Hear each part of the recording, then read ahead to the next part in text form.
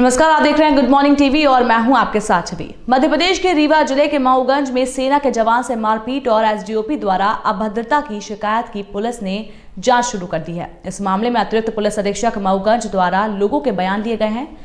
गुड़ सड़क हादसे में घायल पिता को देखने पहुँचे सेना के जवान अरुण गौतम से एक दर्जन लोगों ने मारपीट की थी। सेना के जवान ने शिकायत दर्ज करानी चाहिए तो पुलिस ने जवान पर ही मामला दर्ज कर लिया। इतना ही नहीं, सेना के जवान ने एसडीओपी त्योंतर पर अभद्रता कर रिश्वत मांगने की शिकायत पुलिस अधीक्षक से लेकर गृह मंत्रालय तक की थी। इस मामले में भोपाल से आई जाँच के बाद पुलिस अधीक्षक रीवा द्वारा एएसपी मऊगंज को जाँच सौंपी गई। एएसपी ने मौके पर पहुंचकर स्थानीय लोगों के बयान दर्ज किए और जाँच पूरी होने पर दोषियों के खिलाफ कार्रवाई करने की बात कही।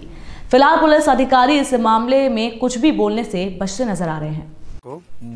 जिसमें अरुण कुमार गौतम के साथ मारपीट की गई थी और वो सेना के जवान हैं। सर यहाँ आए तो वहाँ इन्हें बंद कर दिया गया था। तो सर कारण क्या है? देखिए उन्होंने अरुण कुमार गौतम जी ने एक शिकायत दी है तो वो शिकायत मुझे कल ही प्राप्त हुई है।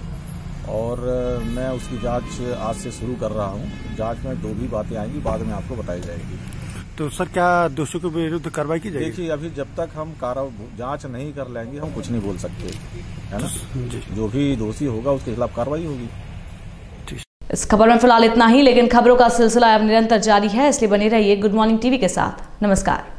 Good morning TV Madhya Pradesh Chhattisgarh Uttar Pradesh में दैनिक समाचार पत्र गुड मॉर्निंग का ऑफिशियल चैनल है। खबरों में बने रहने के लिए यूट्यूब में सब्सक्राइब करिए गुड मॉर्निंग टीवी को। और ताज़ा खबरों और स्पेशल रिपोर्ट सबसे पहले जानने के लिए बेल आइकॉन को दबाइए।